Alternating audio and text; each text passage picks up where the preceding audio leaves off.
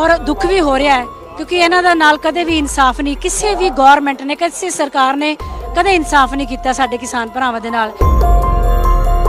ਪਰ ਹੁਣ ਸਾਡਾ ਕਿਸਾਨ ਪੜ੍ਹ ਲਿਖ ਕੇ ਬਹੁਤ ਹੀ ਗਿਆਨਵਾਨ ਹੋ ਚੁੱਕਿਆ ਹੈ, ਸਮਝਦਾਰ ਹੋ ਗਿਆ ਹੈ। ਹੁਣ ਉਹਨੂੰ ਕੋਈ ਵਰਗਲਾ ਨਹੀਂ ਸਕਦਾ, ਉਹਨੂੰ ਪਤਾ ਹੈ ਕਿ ਮੇਰਾ ਕੀ ਹੱਕ ਆ ਔਰ ਮੈਂ ਕੀ ਕਰਨਾ ਹੈ। ਉਸ ਮਿੱਟੀ ਦਾ ਅਸਰ ਆ, ਉਹਨਾਂ ਯੋਧਿਆਂ ਦੀਆਂ ਹਵਾਵਾਂ ਦਾ ਅਸਰ ਹੈ ਇੱਥੇ। ਇਸ ਕਰਕੇ ਸਾਡੇ ਦਿਲ ਬਲਵਾਨ ਅਸੀਂ ਛੇਤੀ ਕਿਤੇ ਘਬਰਾਉਂਦੇ ਨਹੀਂ ਹੈਗੇ, ਅਸੀਂ ਡੋਲਦੇ ਨਹੀਂ ਹੈਗੇ ਛੇਤੀ ਕਿਤੇ। ਜਿਹੜਾ ਬਾਕੀ ਹਿੰਦੁਸਤਾਨ ਆ, ਉਹ ਸਾਰਾ ਪੰਜਾਬ ਦੇ ਉੱਤੇ ਨਿਰਭਰ ਕਰਦਾ ਹੈ। ਜਦੋਂ ਪੰਜਾਬ ਖੜਾ ਹੁੰਦਾ ਹੈ, ਉਹ ਤਾਂ ਸਾਰੇ, ਉਹਨਾਂ ਨੂੰ ਸਾਰਿਆਂ ਨੂੰ ਹੱਲਾਸ਼ੇਰੀ ਆ ਜਾਂਦੀ ਵੀ ਲੈ, ਹੁਣ ਸਾਨੂੰ ਘਬਰਾਉਣ ਦੀ ਲੋੜ ਨਹੀਂ, ਸਾਡਾ ਸ਼ੇਰ ਜਾਗ ਗਿਆ। ਸਾਡਾ ਕਿਸਾਨ ਜਿੱਦਨ ਖੁਸ਼ ਹੋ ਗਿਆ, ਸਾਰੀ ਕਾਇਨਾਤ ਖੁਸ਼ ਹੋ ਜਾਏਗੀ। ਜੀ ਲਗਾਤਾਰ ਕਿਸਾਨ ਮੋਰਚੇ ਦੀ ਕਵਰੇਜ ਤੁਹਾਡੇ ਤੱਕ ਪਹੁੰਚਾ ਰਹੇ ਹਾਂ। ਸਟੇਜ ਤੇ ਵੱਖ-ਵੱਖ ਪੰਜਾਬੀ ਕਲਾਕਾਰ ਪਹੁੰਚ ਰਹੇ ਨੇ। ਸਾਡੇ ਨਾਲ ਅਮਰ ਨੂਰੀ ਵੀ ਇੱਥੇ ਮੌਜੂਦ ਨੇ। ਉਹਨਾਂ ਨਾਲ ਅਸੀਂ ਗੱਲਬਾਤ ਕਰਾਂਗੇ।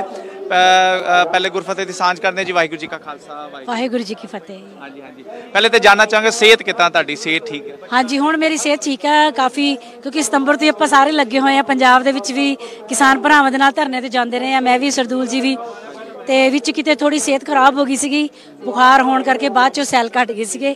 ਪਰ ਹੁਣ ਠੀਕ ਆ ਆਏ ਆ ਹੁਣ।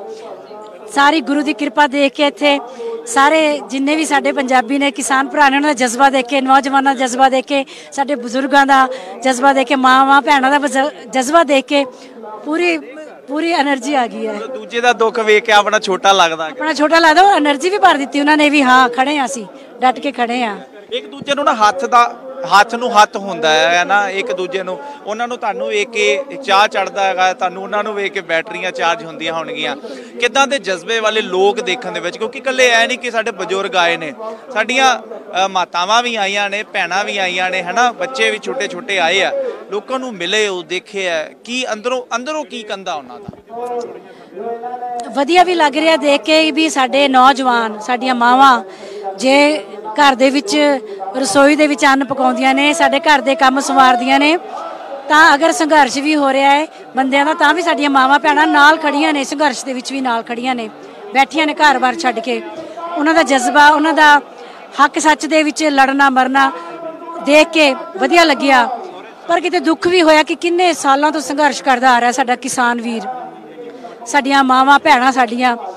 ਔਰ ਦੁੱਖ ਵੀ ਹੋ ਰਿਹਾ ਹੈ ਕਿਉਂਕਿ ਇਹਨਾਂ ਦਾ ਨਾਲ ਕਦੇ ਵੀ ਇਨਸਾਫ ਨਹੀਂ, ਕਿਸੇ ਵੀ ਗਵਰਨਮੈਂਟ ਨੇ, ਕਿਸੇ ਸਰਕਾਰ ਨੇ ਕਦੇ ਇਨਸਾਫ ਨਹੀਂ ਕੀਤਾ ਸਾਡੇ ਕਿਸਾਨ ਭਰਾਵਾਂ ਦੇ ਨਾਲ। ਹਿੰਦੁਸਤਾਨ ਦੇ ਜਿੰਨੇ ਵੀ ਕਿਸਾਨ ਨੇ, ਮਿੱਟੀ ਨਾਲ ਜੁੜੇ ਹੋਏ ਲੋਕ ਨੇ, ਭੋਲੇ ਭਾਲੇ, ਸੱਚੇ ਸੁੱਚੇ ਲੋਕ ਨੇ, ਤੇ ਉਹਨਾਂ ਦੇ ਨਾਲ ਕਦੇ ਇਨਸਾਫ ਨਹੀਂ ਹੋਇਆ। ਉਹਨਾਂ ਦਾ ਭੋਲਾਪਣ ਜਿਹੜਾ ਸੀਗਾ ਨਾ, ਉਹਨਾਂ ਦੇ ਭੋਲੇਪਣ ਨੂੰ ਹੀ ਇਹਨਾਂ ਲੋਕਾਂ ਨੇ ਨਾ ਆਪਣਾ ਹਥਿਆਰ ਬਣਾ ਲਿਆ। ਜਿਹੜੇ ਕਿਸਾਨ ਭਰਾਵਾਂ ਦਾ ਭੋਲਾਪਣ ਸੀਗਾ, ਉਹਨਾਂ ਨੂੰ ਵਰਗਲਾਉਂਦੇ ਹੋਏ, ਉਹਨਾਂ ਨੂੰ ਵਿਚਾਰਿਆਂ ਨੂੰ ਵਰਗਲਾਉਂਦੇ ਰਹੇ ਹਮੇਸ਼ਾ ਇਹ ਜਿਹੜੇ ਜਿੰਨੇ ਵੀ ਸਰਕਾਰਾਂ ਨੇ। ਪਰ ਹੁਣ ਸਾਡਾ ਕਿਸਾਨ ਪੜ੍ਹ ਲਿਖ ਕੇ ਬਹੁਤ ਹੀ ਗਿਆਨਵਾਨ ਹੋ ਚੁੱਕਿਆ ਹੈ, ਸਮਝਦਾਰ ਹੋ ਗਿਆ ਹੈ।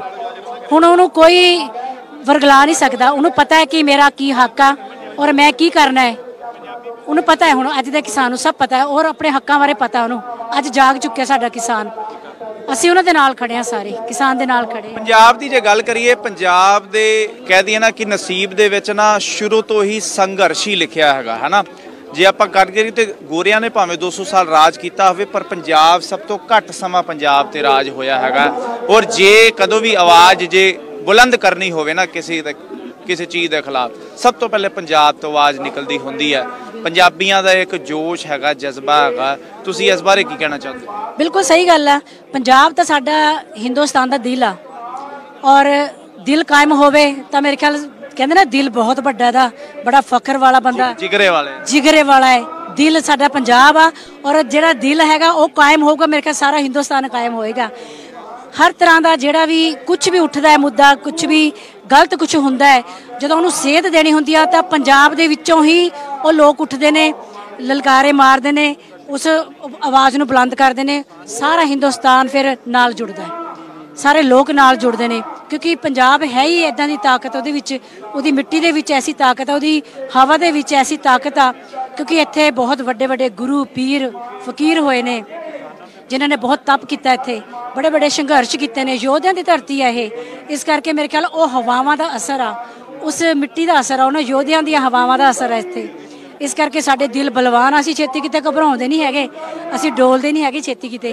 ਤੇ ਇਸੇ ਕਰਕੇ ਮੇਰੇ ਖਿਆਲ ਜਿਹੜਾ ਬਾਕੀ ਹਿੰਦੁਸਤਾਨ ਆ, ਉਹ ਸਾਰਾ ਪੰਜਾਬ ਦੇ ਉੱਤੇ ਨਿਰਭਰ ਕਰਦਾ ਹੈ। ਜਦੋਂ ਪੰਜਾਬ ਖੜਾ ਹੁੰਦਾ ਹੈ, ਉਹ ਤਾਂ ਸਾਰੇ, ਉਹਨਾਂ ਨੂੰ ਸਾਰਿਆਂ ਨੂੰ ਹੱਲਾਸ਼ੇਰੀ ਆ ਜਾਂਦੀ ਵੀ ਲੈ, ਹੁਣ ਸਾਨੂੰ ਘਬਰਾਉਣ ਦੀ ਲੋੜ ਨਹੀਂ। ਸਾਡਾ ਸ਼ੇਰ ਜਾਗ ਗਿਆ। ਤਾਂ ਜਾਣਨਾ ਚਾਹਾਂਗਾ। ਲੋਕਾਂ ਨਾਲ ਤੁਸੀਂ ਬੜੇ ਲੰਬੇ ਚਿਰ ਤੋਂ ਸੰਪਰਕ 'ਚ ਹੈਗੇ ਹੋ, ਹੈਨਾ? ਲੋਕਾਂ 'ਚ ਮਿਲ ਰਹੇ ਹੋ, ਅੰਦੋਲਨਾਂ 'ਚ ਜਾ ਰਹੇ ਹੋ। ਤੁਹਾਨੂੰ ਹੁਣ ਤੱਕ ਕੀ ਸਮਝ ਲੱਗਾ? ਕਿਸਾਨ ਕਿਉਂ ਮੰਗ ਕਰ ਰਿਹਾ ਕਿ ਅੱਜ ਦਿੱਲੀ ਦੀ ਹਿੱਕ ਤੇ ਆ ਕੇ ਬਹਿ ਗਏ? ਕਿਸਾਨਾਂ ਨਾਲ ਧੱਕਾ ਹੁੰਦਾ ਆਇਆ ਹਮੇਸ਼ਾ। ਕਿਉਂਕਿ ਕਿਸਾਨ ਦੇਖੋ, ਮਿੱਟੀ ਦੇ ਨਾਲ ਮਿੱਟੀ ਹੁੰਦਾ ਹੈ।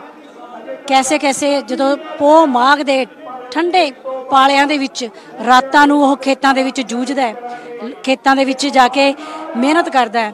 ਔਰ ਜਦੋਂ ਜੇਠ ਹਾੜ ਦੀਆਂ ਧੁੱਪਾਂ ਦੇ ਵਿੱਚ ਸੜ ਸੜ ਕੇ ਉਹ ਖੇਤੀ ਕਰਦਾ ਹੈ, ਤੇ ਜਦੋਂ ਉਹਦੇ ਪੱਲੇ ਕੁਝ ਨਹੀਂ ਪੈਂਦਾ, ਜਦੋਂ ਸਰਕਾਰਾਂ ਪੱਲੇ 'ਚ ਕੁਝ ਨਹੀਂ ਪਾਉਂਦੀਆਂ, ਉਦੋਂ ਫਿਰ ਕਿਸਾਨ ਘਬਰਾਉਂਦਾ ਹੀ ਆ। ਉਦੋਂ ਕਿਸਾਨ ਦੇ ਨਾਲ ਬੇਇਨਸਾਫੀ ਹੁੰਦੀ ਆ। ਮੇਰੇ ਖਿਆਲ ਜਦੋਂ ਵੀ ਕੋਈ ਸਰਕਾਰ ਕਿਸਾਨ ਦੇ ਨਾਲ ਜਿੱਦਣ ਇਨਸਾਫੀ, ਇਨਸਾਫ ਕਰ ਦਿੱਤਾ, ਸਾਡਾ ਕਿਸਾਨ ਜਿੱਦਣ ਖੁਸ਼ ਹੋ ਗਿਆ, ਸਾਰੀ ਕਾਇਨਾਤ ਖੁਸ਼ ਹੋ ਜਾਏਗੀ। ਦੋ ਕੁ ਲਾਈਨਾਂ ਜਿਹੜੀ ਆ, ਚੰਦ ਸਦਰਾਂ ਜੇ ਪੇਸ਼ ਕਰ ਸਕੋ, ਕਿਸਾਨੀ ਨੂੰ ਜਾਂ ਇਸ ਅੰਦੋਲਨ ਤੋਂ ਜੁੜੀਆਂ, ਤਾਂ ਬਹੁਤ ਵਧੀਆ। ਮੈਂ ਆਪਣੇ ਗੁਰੂ ਸਾਹਿਬ ਦੇ ਹੀ ਕਰਾਂਗੀ ਕਿਉਂਕਿ ਉਹਨਾਂ ਦੇ ਪੂਰਨੇ ਦੇ ਪਾਏ ਹੋਏ ਹੀ ਅੱਜ ਜਿਹੜੀ ਮੈਂ ਜਜ਼ਬਾ ਦੇਖਦੀ ਆ ਨੌਜਵਾਨਾਂ ਦੇ ਵਿੱਚ, ਬੀਬੀਆਂ ਭੈਣਾਂ ਦੇ ਵਿੱਚ, ਸਾਡੇ ਗੁਰੂਆਂ ਤੋਂ ਹੀ ਸਾਡੇ ਅੰਦਰ ਇਹ ਸਾਰੀ ਸੇਧ ਆਈ ਆ। ਚੰਨ ਮਾਤਾ ਗੁਜਰੀ ਦਾ ਸੁੱਤਾ ਕੰਡਿਆਂ ਦੀ ਸੇ ਵਿਛਾਈ। ਸੀਨੇ ਨਾਲ ਤੇਗ ਲਾ ਲਈ। ਜਦੋਂ ਯਾਦ ਪੁੱਤਰਾਂ ਦੀ ਆਈ, ਚੰਨ ਮਾਤਾ ਗੁਜਰੀ ਦਾ ਸੁੱਤਾ ਕੰਡਿਆਂ ਦੀ ਸੇਜ ਵਛਾਈ। ਬਹੁਤ ਬਹੁਤ ਧੰਨਵਾਦ ਕਰਦੇ ਹਾਂ ਜੀ ਤੁਹਾਡਾ ਤੁਸੀਂ ਜੁੜੇ ਅਕਾਲ ਚੈਨਲ ਤੇ ਗੁਰਫਤਿਹ ਸਾਂਝ ਕਰਦੇ ਹਾਂ। ਵਾਹਿਗੁਰੂ ਜੀ ਕਾ ਖਾਲਸਾ। ਵਾਹਿਗੁਰੂ ਜੀ ਕੀ ਫਤਿਹ। ਜੀ ਐਸਾ ਨੰਬਰ ਨੂਰੀ ਉਹਨਾਂ ਨਾਲ ਅਸੀਂ ਗੱਲਬਾਤ ਕਰ ਰਹੇ ਸੀਗੇ। ਦੇਖਦੇ ਰਹੋ ਅਕਾਲ ਚੈਨਲ।